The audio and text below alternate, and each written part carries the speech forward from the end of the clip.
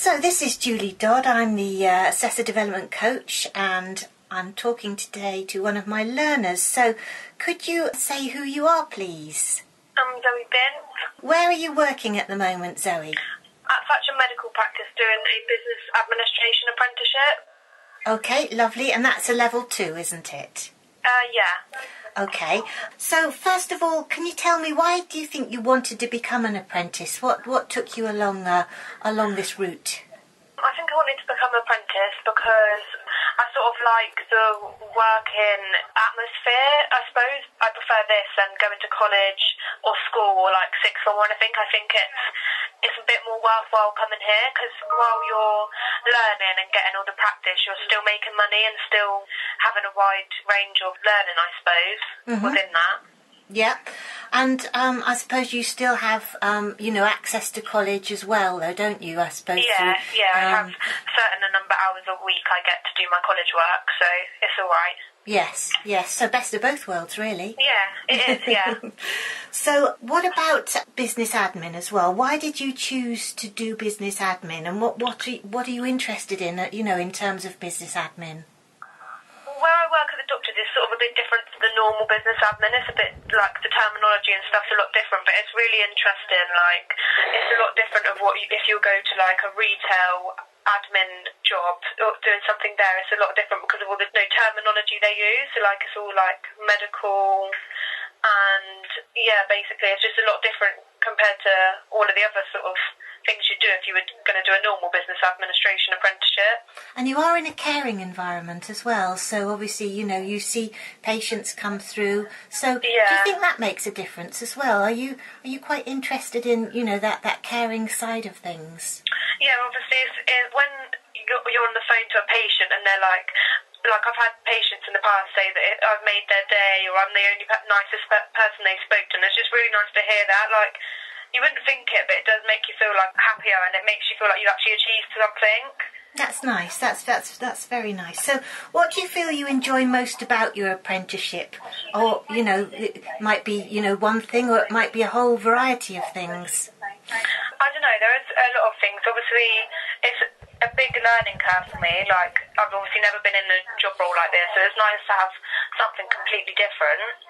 And then I also like it because it's nice to be helping people. It's nice to have a, put a smile on patients' faces Yes, and to see them they're actually getting what they need and the right care. yes, you obviously like that um that side of things where you interact with people. Yeah, yeah.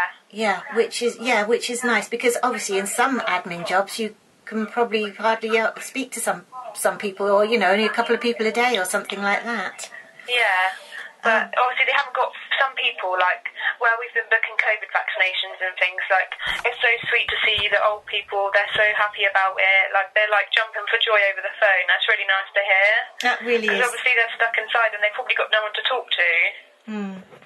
Now I think particularly during this pandemic, I mean you've been working in your place of work all the way through, haven't you, for the past Yeah. ten months since it started. So, you know, It's just hard because obviously one one day we'll have nothing, and then all of a sudden we'll have loads of appointments. We have to get booked in by this time and this day, so that we have, so that we don't like miss out on any vaccinations. We don't like miss any because they can only be stored for a certain amount of time and a certain temperature.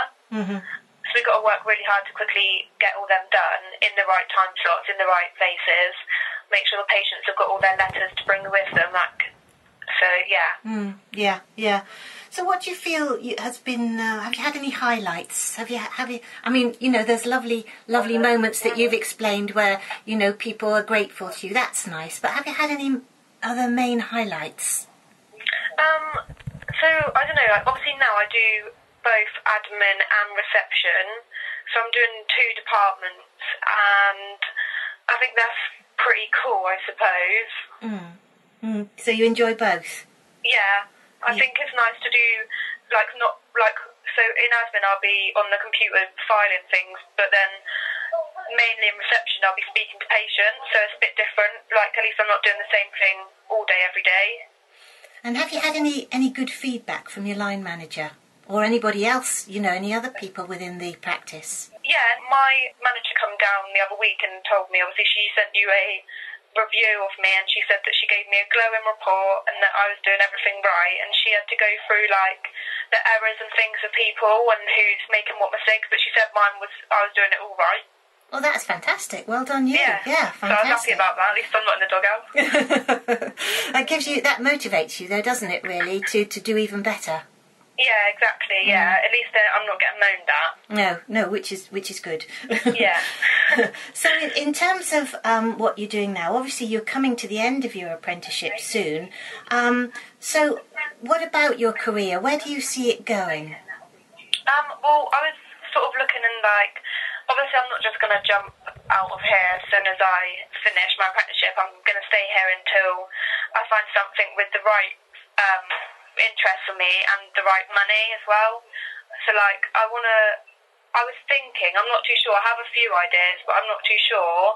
I could either become like a PA or a secretary, but obviously I know you have to like work your way up to that and obviously have a few more ex- like years experience Mm-hmm. to be earning a decent amount, and then otherwise I would I would want to work with like children in a care home Mm-hmm. who people don't have parents and things. Yeah, If I can't do that, yeah, so I have a few ideas, but it just depends really what I have more interest in. yeah. So, what um, I say the, the the apprenticeship is coming to a close soon, within the next few months. So, um, obviously you you mentioned you're going to hopefully stay there at the practice. Um, yeah, I do intend to stay here for a little bit. Obviously not forever, Mm-hmm.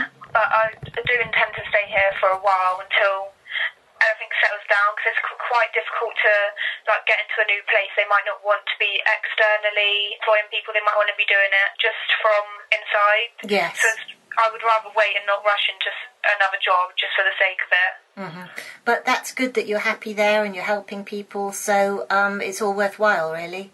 Yeah, I'm learning like new stuff all the time. Like obviously I've gone on to reception. I'm I don't know everything on there, so while I'm on there, I'm obviously learning new things and where what things go to what department still and stuff. So I'm learning all the time because every day a different patient asks you a different question. So Mm, mm. I mean, as as I said to you before, I mean, just um, working with you, you know, over the past year, I can see you have progressed hugely, you know, in all in all areas, and um, obviously that's what the apprenticeship has given you. yeah, yeah, no. When I first started, I wouldn't ever dare to go on the phone to a patient. I would that would I would never do that. Mm. But now I'm all right to do that. So it's good. well, yeah, I think like my confidence. Well, that's right. I mean, it's it's it's really helped your confidence, and I think you've done incredibly well. And um, I think you should be very proud of yourself. Thank you.